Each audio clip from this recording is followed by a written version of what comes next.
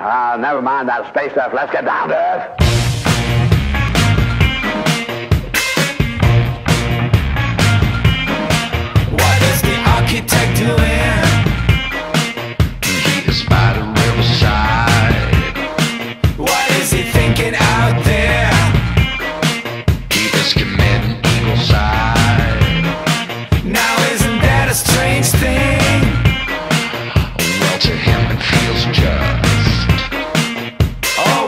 a person's gotta do.